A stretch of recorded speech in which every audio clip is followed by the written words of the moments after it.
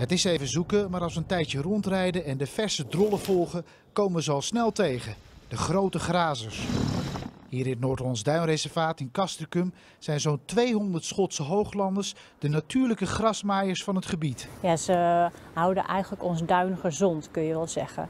Uh, want ze grazen de grassen weg en ook de houtige gewassen die heel erg hard groeien. En dus dan hebben de bloemen en de planten meer ruimte om te groeien. En de dieren houden geen rekening met fiets- of wandelpaden. En dat kan gevaarlijke situaties opleveren. Dat bleek dit weekend toen een man gewond raakte nadat hij door een taurusstier werd aangevallen in een natuurgebied in Brabant. Lekker op de fiets, maar verderop staan een eh, aantal Schotse hooglanders. Ik blijf het een beetje eng vinden. Ja? ja. Waarom? Nou, je weet nooit wat ze doen en ze zijn zo groot. En die horens. We kennen ze wel, maar zoals gisteren dat bericht op het journaal dat er iemand was aangevallen. Niet door een Schotse hooglander, maar een soortgelijk beest. Dat maak je toch wel eventjes eh, dat je denkt, nou, even voorzichtig uh, maar.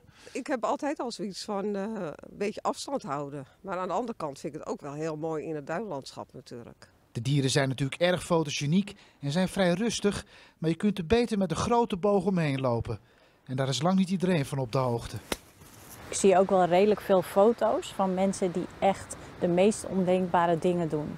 En dus dat is natuurlijk gewoon, ja, dat, is, dat kan nooit een optie zijn. Niet aan de koeien zitten, niet aan de horens. Of om een foto te maken heel erg dichtbij komen, dat wil je niet. Om ongelukken te voorkomen heeft de boswachter nog wel een aantal tips. Nou, zoals hier moet ik dus langs een kudde lopen. Een eerste tip kan zijn, ga er ruim omheen. He, dus hou die afstand.